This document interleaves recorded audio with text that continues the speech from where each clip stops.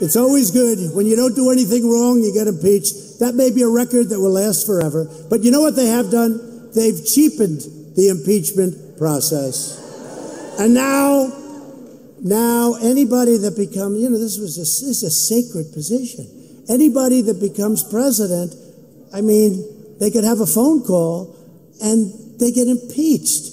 So if the Republicans, if you had a Democrat as president, we have a Republican House, they don't like the, the guy for whatever reason or the woman, they impeach the person.